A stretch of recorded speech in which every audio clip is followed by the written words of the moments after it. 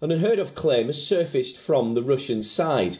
Moscow says it shot down four US made missiles over Russian territory. The Russian Defense Ministry said on Monday that its air defense system shot down several US made missiles over a southern Russian region bordering Ukraine.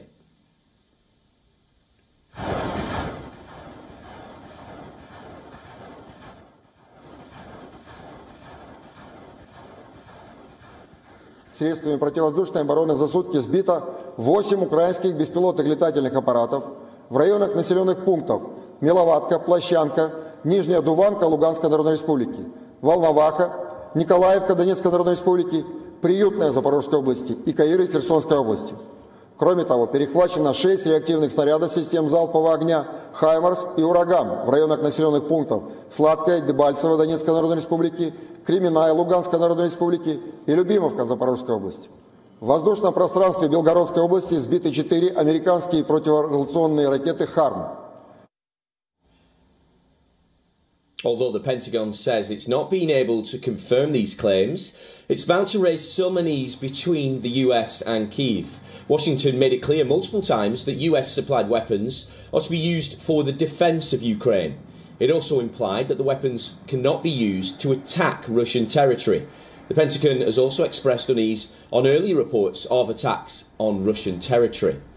Meanwhile, there's been a reminder that the West's ongoing aid to Ukraine is not guaranteed voices from the UK and Italy have been raising demand and demanding some restraint, while the UK PM Rishi Sunak announced a new military aid package of over 300 million US dollars to Ukraine.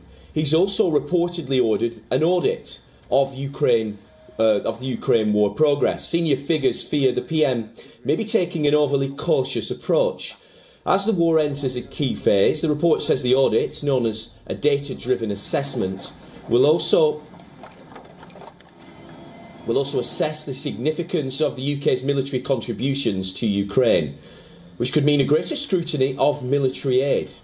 Meanwhile, the Italian Defence Minister also expressed some reservations on military aid to Ukraine. He said the European Union should provide financial support to countries that were supplying Ukraine.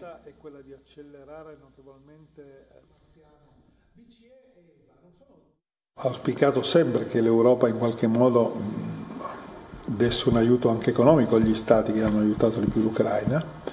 Finora l'Italia è stato uno dei paesi che l'ha aiutata di più, perché comunque parliamo di eh, scorte che facevano parte delle scorte nazionali di tutti i paesi che le hanno date.